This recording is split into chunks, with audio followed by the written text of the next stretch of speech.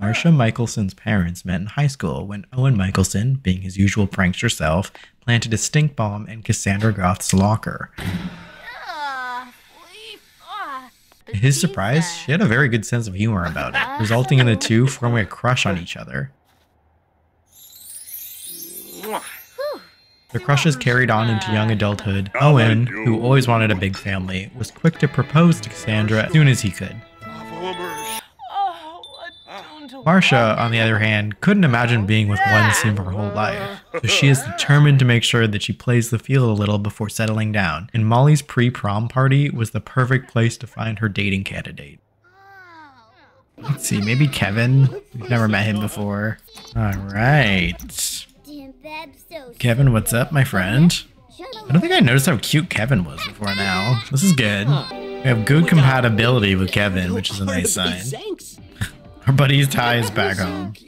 Let's see. I think Marsha would open up about her unfair life because she's catching a vibe with Kevin right now. Yep. Yeah, she's feeling emo. Molly turns on the TV. Has a laugh. Okay. Oh, and now we're crying. Let's see. Okay, Kevin responded pretty well to that. So prom is starting, but Marsha is not feeling ready to go to prom, so we're actually gonna skip it. She doesn't want to go to prom and all this like mask outfit and stuff like that, and she doesn't really know anyone and she doesn't have a date. So she doesn't want to go even though she hung out with everyone before prom. Oh man, our prom cowpoke didn't sell before prom. Well, we know that Kevin's a romantic. Well, let's see if we can convince him to skip prom and go for a date with us instead. I guess first we should ask if he's single. Oh, but Kevin is single. And he disappeared into the coffee table. I guess he wanted to go to prom after all. Instead of going to prom, Marsha is back at the community center. She's gonna do a quick shower. What? Why is it making her take a bath in this outfit we're trying to sell? I guess we're cleaning it up before selling it again? We're on neutral hype, but let's just try selling it again. Maybe I was a little bit too ambitious, so I will just go with double the amount. So we're gonna put it at 560. Looks like Marsha finished her puzzle. Oh, framing it is $45. Let's at least share it to Simstagram. Alright, time for bed. Marsha woke up feeling disassociated, but we only have 10 minutes left of it. Oh. My goodness. Otherwise, I think it's a great time for her apparently to dump garbage on the ground. It's not what I was going to say. It's a great time for her to actually meet up with Kevin.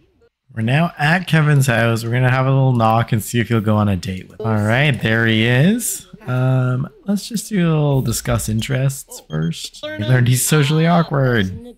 Feeling quite playful, so maybe we can get away with some slap him silly things. My gosh, this kid needs to not be watching right now. Okay. We're good friends already. Ask on a date. Here we go. Okay, kid, you need to get lost. Perfect. He said yes.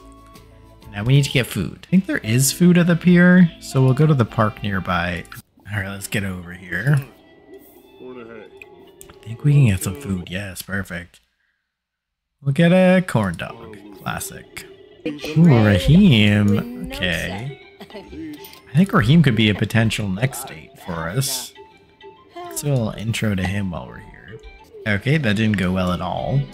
But uh, we're here with Kevin anyway, so let's try make a flirtatious joke. Silly, silly! Whoa, where did you come from? Okay, you what? Okay, you're gone again. I was gonna say she was at the prom party, so we actually should be going on a date with her too, but we never got to meet. So if she materializes again, I'm just saying if she's maybe somewhere else here. Oh yeah, there she is. A lot of teens here as well. And also our dad came. Okay. Well, obviously we would go out of our way to avoid our dad as a runaway. Oh! So hopefully he doesn't come over here. There you go. Yeah, go sit with him. Very nice. It's truly is just three people hanging out for this date. Also, it looks like our illness has taken a full swing and we're complete spirals at this point. All right, attempt to seduce while feeling extremely ill.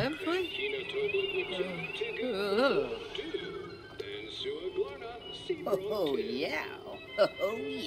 is he even into it? Yeah, okay, he is. He is. Oh, yeah, boo.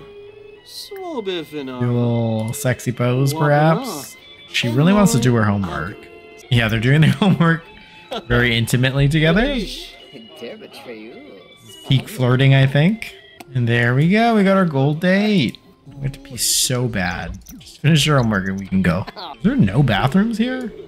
Okay, she's doing a pit stop at the library in Copperdale to use the washroom. We have our date completed. We do need to start a fight as well. Oh no, and our dad is here. Alright, we gotta leave immediately. Okay, Marsha just narrowly escaped running into her dad. She's just gonna finish up her homework. Homework is complete. Yo. You know, I think it's time that she cleans up some of this stuff around here. She has the rest of the evening to oh, herself. There's a nice little dumpster over here. Let's see what she can get done. All right, she's made a lot of progress in cleaning up. Obviously, there's some big stuff that she can't do anything about. She was interrupted by Nina Caliente wanting to buy her prom cowpoke outfit. That's great. We can make some money here. We'll ship it off. And we hit level two of the entrepreneur oh, skill. It's perfect because that helped us with skill day. I also forgot about the messaging part of this. Savannah thinks we should do guitar. Cute. Aw, Philip's also being cute to us. Not Judd saying, I'm so glad I have a friend like you. Ugh, our enemy. Your follower count and you are the same, a big zero. Okay, I didn't realize Olivia was also our enemy. a little cranky face for that. She also wants to add Raheem, who she met today and really hit it off with. She's gonna send him a message. Wow, I didn't realize you could do this to really hit it off with them. Somebody flirty. Are they gonna get a romance part? Wow, okay, so after a night of texting, they're at the max of their relationship. During their late night texting, Marsha mentioned that she likes to hang out at the community center, so she brought Raheem here. And they're just gonna be goofing around as two pals too.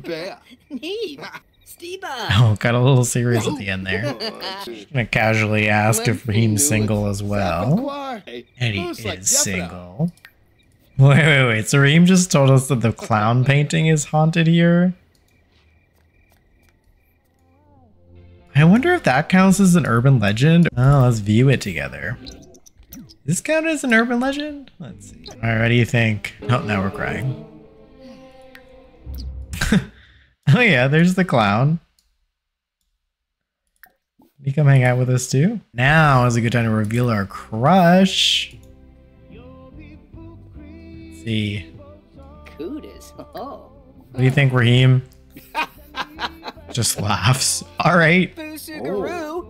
Sounds good. Oh. I even get like a sliver of romance between you two, or is it just only friends? Really, really confident, so we'll do a little bold pickup line. Tuma, Quisap. Ben Hayes, Skibaro, Simona Zero. It's truly, I, I feel like this is a date that they're on right now. oh. Cute.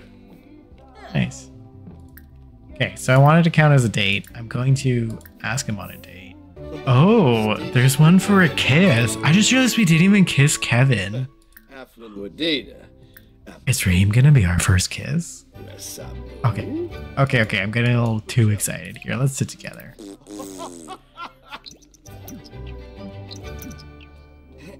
It's officially 2 a.m. at this point as well. So these two are like in for the long haul together. A little pickup line. Oh, well, he's flirty. No, she just has to be. And of course, there needs to be jokes with our date. Oh.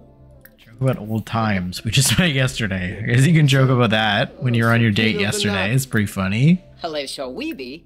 Fuss. Oh, Inside joke. What? Oh, she's very flirty after having a joke with him. Uh, Dalish Damn. will Amorous exchange from these little jokes. Okay, cuties. Oh wow, that was pretty intimate, you two. Okay, while you're feeling very flirty, let's go in for the kiss. What do you think? What is happening? Front and behind her. You're going through a phase, feeling rebellious against parental authority. Well, that's fine. You're like not even, you don't even have parents at this point. Don't let that get in the way of your first kiss, girl. Let's go. All right. Happening. Lurvy. Aww. So cute. Look at you two.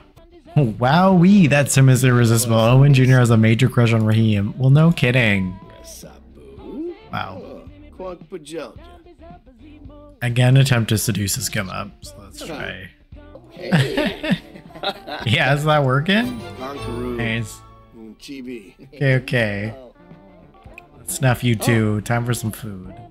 Well, it's five in the morning, so I think it makes sense that they'd be leaving now. It's still a gold medal date. Let's get out of here. Oh wow, we just became good friends with Philip while we were sleeping. So I guess uh maybe social media did that. right, we are awake and we want to ask Kevin to be our boyfriend. Orba. Oh, after having our first kiss last night with somebody else? Nuko. Oh no. Oh no, that's messy. Alrighty. Alright, we are having a date with Kevin. we are gonna ask him to be our boyfriend. Is quite interesting. Uh, we're just gonna have it here at the queer cafe that I built. There's also apparently a gathering spot for my trans teens, which I totally forgot about. So Philip will be here for that. On the plus side, our going on a date five times counts with the same sim again. So at least the drama will be working with that. Nice. We got our frenemy here. We got Judd. We got Billy Yang. We got Elsa Bergson in the back. We got Haku here.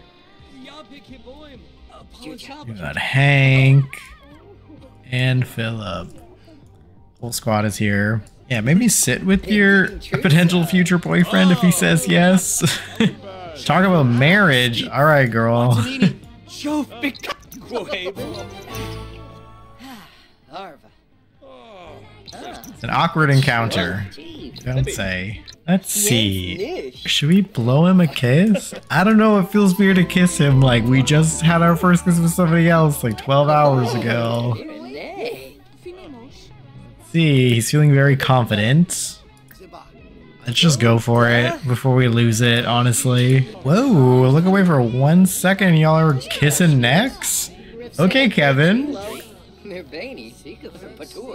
we still haven't had our first kiss, though. He's only kissed our neck. Here we go. Asked to be boyfriend. Uh, let's see. Vimpa. Oh, yeah. Um, interesting reaction. Nabatane Wexner. Back on the bar? Yep. So Kevin is our boyfriend. Quema Bobbin. Swab. Very nice. Nay. Baya. An awkward encounter because our friend joined. Marsha is just down in the bathroom feeling extremely confident having gotten her first boyfriend. And now is the time that she wants to confront Judd about copying her social media post. Here she goes confronting them. And that ends our date with Kevin. We spent it talking to Judd instead. It looks like Kevin went home. Things are getting pretty heated between these two. Alright, now that she's confronted Judd, she's ready to head back home. Let's get some sleep. And of course, it's raining. So Marsha's gonna take some refuge at Thrifty. Perfect. Over at Thrifty, it's not raining. Say hi to Eloise over here. At this point, Marsha's become a frequent customer at Thrifty and even helped Eloise when it came to pranking the toilet.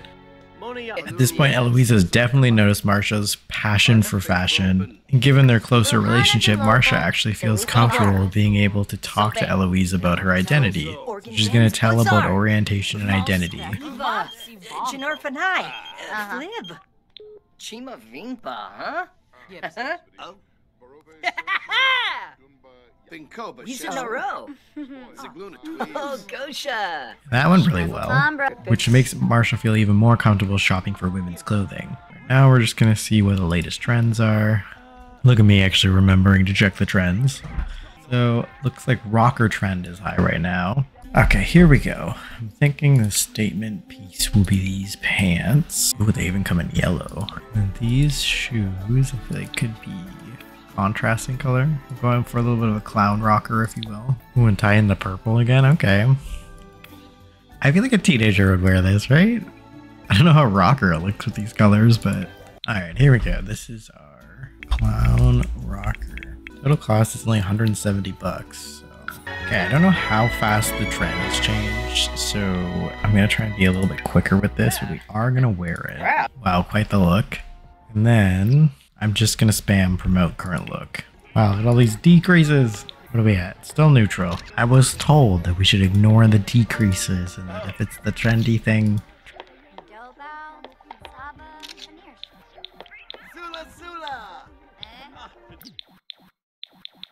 Alright, at this point, our hygiene's real low in this rocker look, which might be adding to the authenticity, but I don't know. I'm not seeing the hype go up, and I would have used this like a hundred times this remote look thing. So let's just give it a shot and sell them. I'm gonna try and get 500 bucks for it. Kevin's calling. Oh, he wants to go on a date. Okay. Oh. Now we want to sit and chat. There's like card games up here. Let's go do this together. We're letting this random man uh, interrupt our date as we play some cards together. Sure We do want to be playful. So we're playful, but he's still flirty. So I'll slap him silly to try and get him. Okay, he does not want to get anything besides flirty right now. Apjam Abavween. From. heck? Teleported downstairs. What is with this game? Okay, so there's some aliens at the bar tonight because it's alien night. Obviously, Marsha is extremely mad at aliens right now because her mother was abducted. This is her trying to confront the aliens who potentially took her mom. Gonna do some acting tough at this alien. Why is this alien so much tall? Oh, there's like a platform. okay. Marsha's being a little bit too forward with the way that she's asking about her mom. Even though we're getting a, re- a reveal that this alien's actually good, Marsha will not let up. Marsha's extremely convinced this alien would at least know where her mom was, if not be the one that took her to begin with. At this point, the alien's leaving the bar, and Marsha's also gonna go home and get some sleep. It's a new day and time to go to school now that summer vacation is over. Marsha's at school early today. One, she's starving, and two, she's actually gonna do a little change. And she's gonna shave her facial hair while at school. Top of that, she's gonna use the shower, shave her arm hair as well as her leg hair. Marsha's been feeling a lot more confident ever since she told Eloise about her gender and her, her sexuality thoughts lately. Dating Kevin as well, having a boyfriend is something she never thought she'd be able to do. She's getting more confident as she continues to on her fashion journey as well. Not her shaving with the outfit on. wow. What's more rocker than that? I don't know. Here she is looking all fresh faced now. And in our second class, we get to sit next to our buddy Philip. And Marsha really wants to tell Philip about her orientation as well. She also wants to have a conversation about how she's been questioning her sexual orientation. Nice. Of course, Philip says that they understand because they're part of the community too. I didn't know there was little pop-ups to this. So Marsha says, er, don't freak out, but I think I'm not so sure about what type of students I'm attracted to in terms of gender, I mean. And then Philip is saying back, it's okay, be open-minded and find out. It's cute. Don't worry so much, see where it takes you. Love is love after all. After this conversation with Philip, Marsha's feeling very close to them, so we're gonna make them our best friend. Ooh, and we want to chat with our crush. Uh Oh, oh. Here we go, besties. Alright, let's try and do. Us do a prank on one of these lockers. I don't know if it matters if there's people in the hallway that'll see it. Oh no, that kind of blew up on us. Alright, nothing like talking to your crush after you explode a stink bomb on yourself. Oh my gosh, not us coming here at the same time as Raheem's dad's too. Alright, let's do it. Oh, and grandma coming out. I think we're gonna beeline straight past the whole family and then go into Raheem's room here. Okay, let's just do a little joking around, perhaps. Show off our muscles, maybe. You. Crush nearby. I don't know. We're embarrassed from that. Oh my gosh. Now you want to ask Kevin about his day? You're a messy, girl. We came all the way here to talk to Raheem, and now she's embarrassed. She wants to go talk to Kevin instead. So we're actually here at the comedy night at Thrifty because Marsha needs to clear her head, feel a little bit less embarrassed, and immediately decides to perform her own amateur comedy routine. Alright, girl, get it. Philip wants Marsha to join the Parrotfish Teens, which is the group that they're a part of. So, of course, we'd love to be part of the group with our bestie. I'm picturing this routine to be solely around her awkward interactions she's just had and telling a little bit of comedy around having a boyfriend that she's never kissed and a crush that she's had her first kiss with without her boyfriend knowing. These are the drama teen diaries here. What do you think? Wow. Uh, this woman loved it. Now that Marsha's really made herself comfortable in the thrifting scene, she's officially okay with making the decision to go under her gender affirming care and transition decisions, doing a non medical transition decision, deciding to switch from mass to feminine clothing. So now she has my true clothing preference. Marsha feels good about having decided to publicly show herself more truthfully through a change of clothing. She has decided to embrace her preferences for difference, differently or more gender affirming wardrobe. Her cast clothing preference will reflect that. Time for Marsha to put together some new outfits. Alright, so we have Marsha's everyday. Got changed into this, keeping her favorite colors. We got a little trans flag involved in here. Obviously, she's super excited to also have her nails painted. And she's got a little bit of makeup on. I was trying to make sure she still looked quite young, uh, which can be difficult in this game, in my opinion. And then for hot weather wear, since it's pretty warm for us, this is the one where I feel like she looks a little bit older. I think it's the top, but I'm going to keep it for now. Again, fun nails. She did her toenails, matching her little sandals there. And this is what she had before for her hot weather wear. So of course, the first line of business is going to be to show off our new outfit to Eloise here.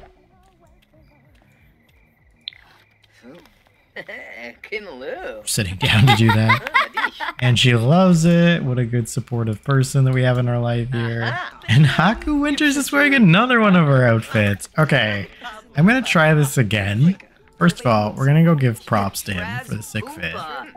And then we're gonna try and compliment it again. Alright, here we go.